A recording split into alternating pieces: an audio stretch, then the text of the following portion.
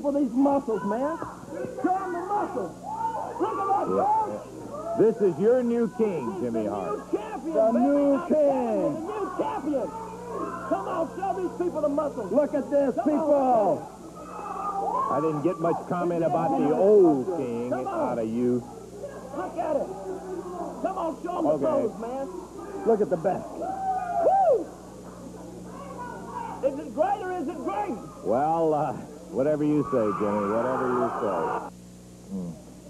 What a specimen, huh? Moment and a half. That was when Jimmy Hart crowned his first new king. Okay, we've got some more uh, look back down memory lane we'll be taking a little bit later on. We've also got six-man tag action, and we're going to take time out now, and we'll be back to championship wrestling in just one moment.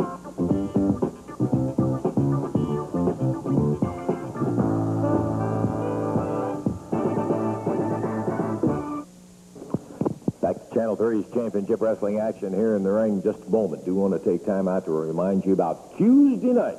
What a night of action it is going to be, and sure, you better believe a 10-man battle royal that'll have a $1,000 bill as the prize. We'll show you that a little bit later in case you've never seen one. Lots of other matches in there, a couple of singles and some tag matches. There'll be a Southern Tag Team title match, and then the finale is going to be a main event you won't soon forget. Jerry the King Lawler will be facing Paul Ellering, the big muscle man out of Melrose, Minnesota that Jimmy Hart has dug up to bring in here against the King. And the rules are that if Jerry can beat Ellering, he'll get Hart not in a single match, but he'll be in there in a, a handicap match with a partner of his choice.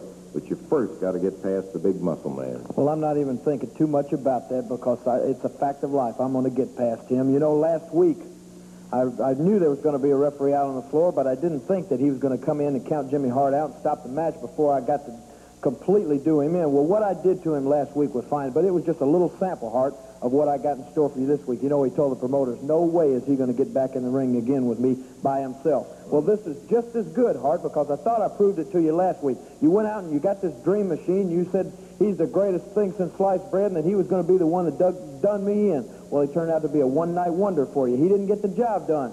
Well, Hart, now you've gone and got Paul Ellering, the man who for six months around here, when, you know, I wasn't even warm in a hospital bed, and I saw you out there on TV putting my crown on his head, calling him the king. Well, let me tell you something, Ellering. For five and a half or six months, all you heard around here was wait till the king gets back. Well, the king is back. And I'm going to prove it to you, Ellering. I'm going to beat you like a dog that you are, and then Hart you, and I don't care if you get King Kong and Godzilla. Bring them out there in the ring because I'm going to beat their brains out, and then I'm going to get to you, Hart, more than five minutes this week. Well, you'll have the opportunity to see that maybe, but for sure, see it.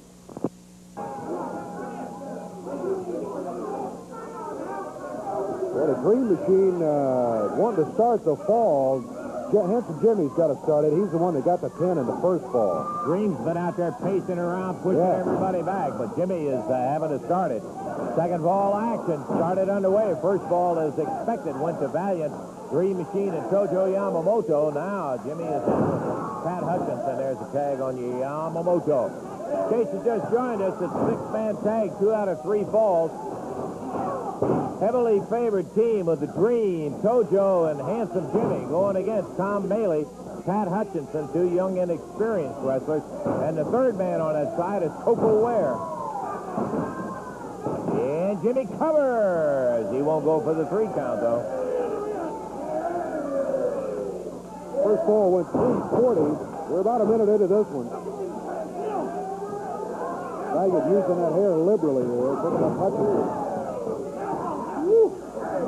Jarred the table all the way over here. Tojo, another chop on Pat Hutchinson.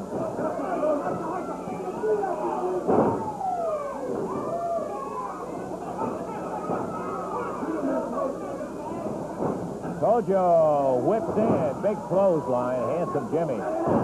And the Dream saying, get me, get me, tag me. He wants in. Yeah, he wants in here.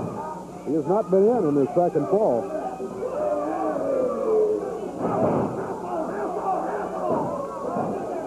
The Dream wants to show the world he can whip the world.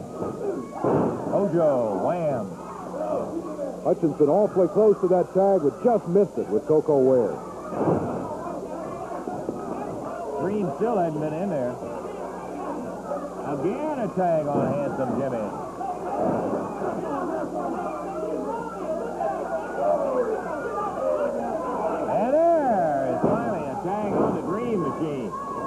Hutchinson back to the corner. Here comes Koko.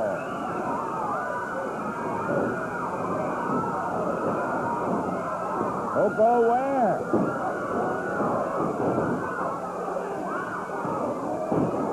Handsome Jimmy flailing away on him. The big green. Wow. Ooh. Tag on Maley as he comes through the rope. The Dream whips him around, pounds on him with that broad arm and fist. Him down on the deck. Ooh, double chop. Oh, he buried young Tom Bailey. Dream Machine up in the air. He's got him right by the throat and fires him down. Flashes down on him, covers him up. Two, three. Second fall of action, Davey, and not unexpected in two straight falls. Yamamoto, Handsome Jimmy, and the Dream Machine over Koko with his two young partners, Pat Hutchinson and Tom Maley. And the action banging away in the ring as the Dream Machine not letting go of Tom Bailey. Koko had been thrown out, and there goes Bailey into the ring apron. Everybody else is out and down on the floor. The winners, Valiant Yamamoto and Dream Machine. 302, the time on the second fall. 302 and in two straight. They are the winners. We got more action. Back to it in a moment.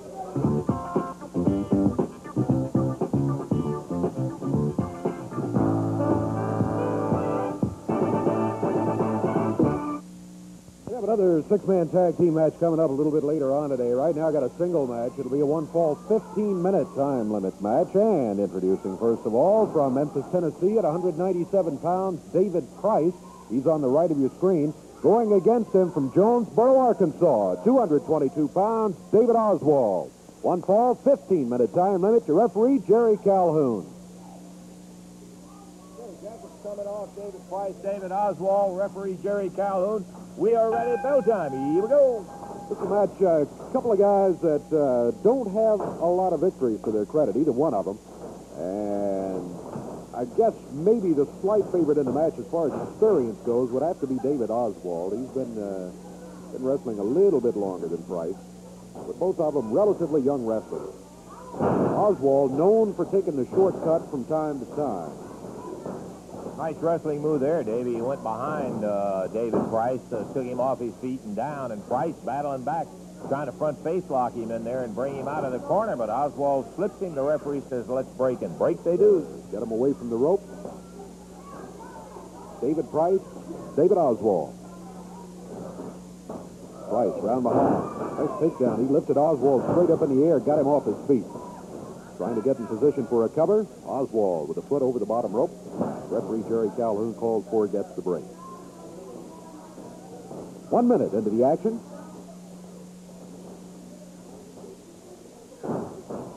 Oswald. Side headlock on David Price.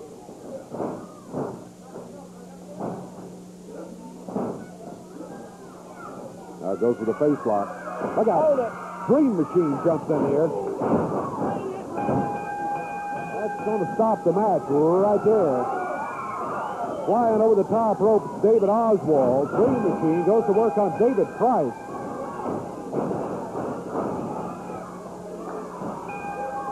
Dream Machine upset. And he jumped in there, threw Oswald over the top rope, and now working on David Price. Oh, referee Jerry Calhoun nailed. Yes, sir. He's going to catch a fine for that one for sure. Dream Machine grabs Oswald, He's back up on the apron. Nailed him. Now back to work on David Price again. Dream Machine trying to show the world that he can whip the world, and he's in there in no partiality. He's thrown uh, Oswald out of it and working on David Price. Price really hammered down to the mat. Jerry Calhoun, the referee, he's trying to talk him out of there. He See if we was can get him out of there. Yeah. Oh, Calhoun nailed again by the Dream Machine. Here comes some help. Well, Jimmy Hart comes in. Talking to the Dream Machine.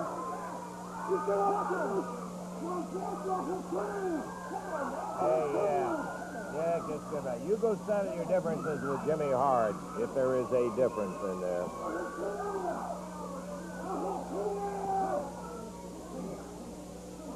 Jimmy Hart trying to get the Dream Machine out. Tommy Rich, Dundee, Tom Bailey, all were in to break it up, and Koko Ware to break it up and get the Dream Machine out of the ring. They did that in a hurry. He may have been out of place, but he wasn't no fool. He saw all that coming. He got out of there. Hart was trying to get him out of there. So that one will just be a stop, Stop match, match, in there. yeah. 22, the All right. yeah. We were talking about memory lane and uh, Paul Ellering, the big muscle man.